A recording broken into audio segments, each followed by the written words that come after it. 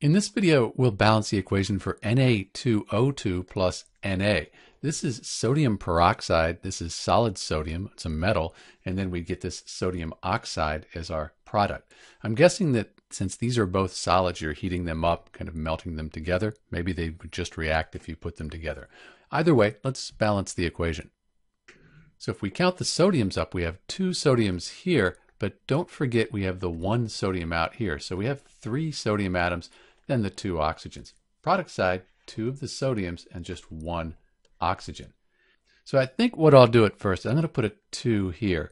The 1 times the 2, that'll balance the oxygen atoms. And then 2 times 2, that'll give me 4 of the sodium atoms. So I usually do oxygen last, but in this case, I knew that it would really change the sodiums. This is okay though, because right now I have two sodiums here and just one here. If I put a 2 in front of the sodium, now we have 2 plus, so 2 plus 2, and that gives us 4. This equation is balanced. This is Dr. B with the balanced equation for Na2O2 plus Na. Thanks for watching.